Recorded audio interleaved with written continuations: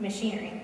Um, so to say something is irreducible complex, um, I think is a risky statement because inevitably in biology you find something a little bit simpler.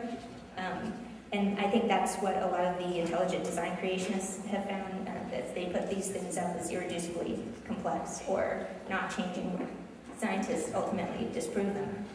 But it's not as if, again, that these creationists are spurring this research. Like I said before, if it causes disease, um, the NIH really wants to give you money to figure out how to stop that disease, uh, especially with children and diarrhea problems, uh, infant mortality.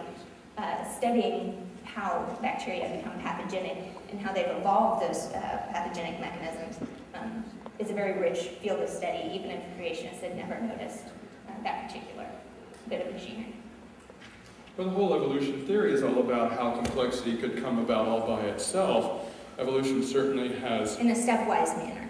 Yeah, well, evolution has uh, certainly thoughts on complexity. It's, it's, it's what all the thinking is about. I, I personally think that the intelligent design community comes up with some interesting questions and some good questions, but, uh, but I wouldn't say it's a, it's a one-two punch to the idea of evolution or one-two punch to the idea uh, of a creator.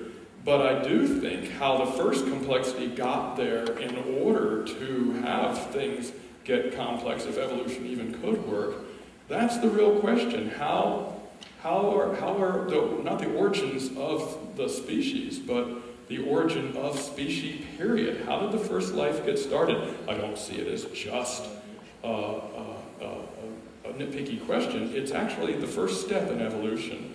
And that one also must remain in hypothesis. And again, I don't have any problem with that. What I do have a problem with is it's a fact even though it's based on, on a hypothetical mechanism that really isn't, isn't described. The, the deep sea vents, uh, you've got your chemotrophs living there, and did they actually? And did they actually then become uh, autotrophs and, uh, and heterotrophs? Did they learn to eat each other instead of eat the sulfur compounds that came out of the vents? Did they learn to photosynthesize? And how did they do that? And where, where did the chlorophyll molecule come from? Where did the, the original complexity come from to even get the evolution ball rolling? Uh, I think it behooves evolution to, to provide that. I can, un, I can uh, understand and commiserate with the problem that that is, but, but I, I am, it is notable by its absence how often the question is dodged or said, well, it just did. Uh, after that, you can talk about processes. Have you thought about turning this into a scientific paper and submitting it to Nature or Science magazine instead of trying to... And sir, if you read it, would it get published in that journal? You personally, if you were one of the reviewers. I, I, I don't review for scientific magazines.